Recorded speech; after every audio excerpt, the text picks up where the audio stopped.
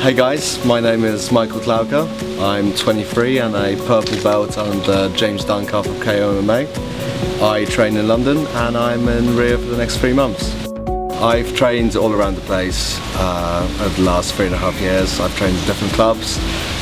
My background is mainly in no-gi and MMA and I'm trying to take the strip as a kind of an opportunity to actually improve my gi game, go back to the roots as such.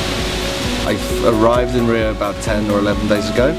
I've had the opportunity to train at Gordo's a couple of times and the training there is intense. It requires a lot of effort but it's, it's very rewarding. The training uh, varies from training at home. Warm-ups are a lot shorter considering the weather.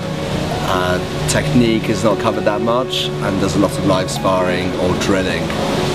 It's I mean, in my case, it's quite difficult to, guys, to find guys my size and my kind of experience level back home. Here, I actually get to see real black belts of all shapes, sizes, different games, different techniques, different approaches, and it's it's a mind-opening experience. When you, you step out on the mat and all you can see is all the black belts or brown belts, and it is intimidating at first, but they're all quite happy to help out, and their level of technique justifies their belt, justifies their grade. They're not going to be using strength against you and just smashing you for the sake of it. They'll actually work around you, let you implement your game to an extent so you take something out of the experience.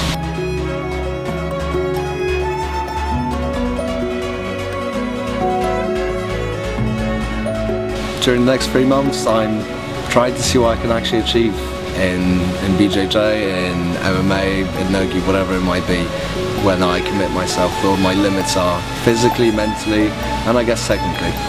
To live and breathe the Jiu-Jitsu lifestyle and actually be able to to do it, I guess, on a as a living, yeah.